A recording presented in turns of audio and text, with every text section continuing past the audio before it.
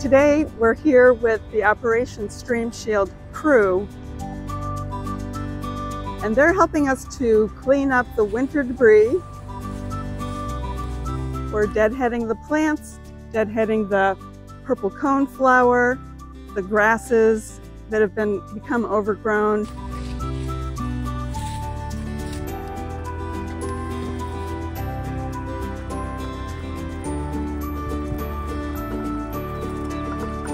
This was designed as a meadow with a combination of flowering perennials like the purple coneflower and the black-eyed Susan and the butterfly weed.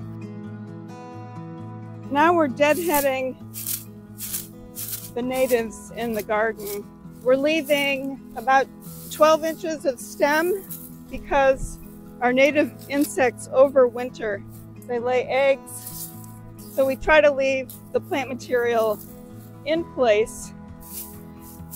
And then we also have some native perennials. We have black-eyed Susan. I'm crushing up the seeds of these because they will actually reseed themselves throughout the garden. So we've got um, a non-native invasive Chinese Lespedeza that's very predominant in the garden. So we make sure to bag those seeds On the far side of the pond, you can see some wooden stakes in the ground. And that's an area where we are going to plant some live stakes today, some actual cut stems from uh, silky dogwood.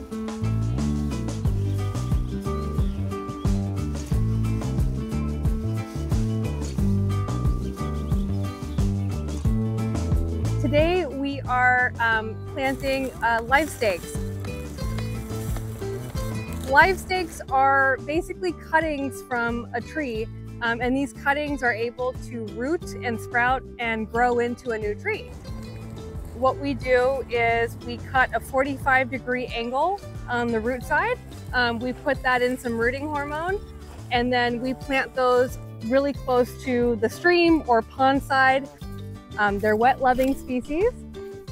They're gonna grow up and help shade this pond, provide habitat for wildlife, kind of cool the temperatures near the pond edge, and also provide a nice visual kind of focal point for this space as well.